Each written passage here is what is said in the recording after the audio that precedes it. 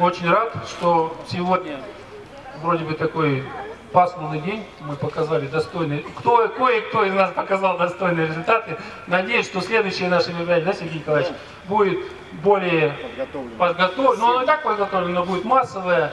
Я думаю, что здесь и будут присутствовать наши дети, ваши дети, для которых тоже будет проведен небольшой турнир, такой развлекательный. И надеюсь, болельщики будут более горячо поддерживать нас.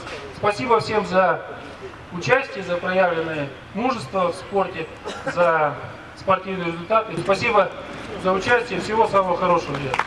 Ура!